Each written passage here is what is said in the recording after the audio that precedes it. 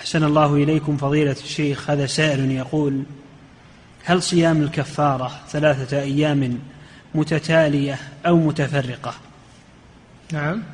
يقول أحسن الله إليكم هل صيام الكفارة ثلاثة أيام متتالية أو متفرقة؟ الله ما ما أمر بالتتابع. صيام ثلاثة أيام ولم يقل متتابعة. نعم فيه قراءة لكنها ضعيفة. قراءة صيام ثلاثة أيام متتابعات لكن هذه القراءة لم تثبت. فلا يعمل بها. نعم. لا يعمل بالإطلاق. متتابعة أو متفرقة. المهم تصوم ثلاثة أيام. نعم. إعداد مشروع كبار العلماء بالكويت أعزها الله بالتوحيد والسنة.